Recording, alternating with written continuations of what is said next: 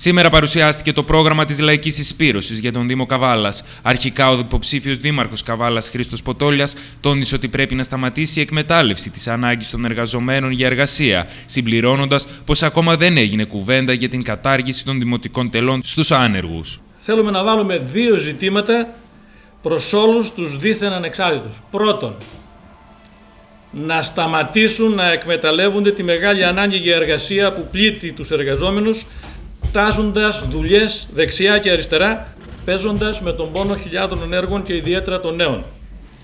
Πόσους άραγε θα προσλάβει στο Δήμο όταν ανανεώσει τη θητεία του ο κύριος Σιμιτζής ή γίνουν στη θέση του οι άλλοι δήμαρχοι, την κάθε θέση που θα δώσουν, αν ποτέ τη δώσουν, την τάζουν σε 45 οικογένειες.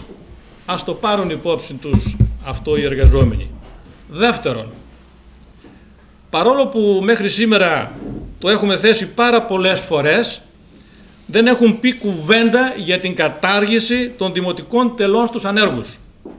Να δηλώσουν εδώ και τώρα τι θα κάνουν με αυτό το τεράστιο ζήτημα. Αυτό είναι μέτρο πραγματικής ανακούφισης των ανέργων για μας. Όλα τα άλλα είναι άλλα λόγια να αγαπιόμαστε. Στη συνέχεια, ο κ. Ποτόλιας μίλησε για τη βάση την οποία θα έχει το πρόγραμμα του συνδυασμού του και σημείωσε πως δεν θέλουμε να σπείρουμε αυταπάτε ώστε να μπορούν να υπάρξουν οάσεις ευημερίας και ανάπτυξης μέσα στην απέραντη καπιταλιστική έρημο της καταστροφής των πάντων, εργατικών δικαιωμάτων, ιατρικής περίθαλψης, μόρφωσης των παιδιών, αλλά και το μέλλον των νέων και των γυναικών. Θέλουμε να βάλουμε τη βάση πάνω στην οποία πατά το πρόγραμμά μας.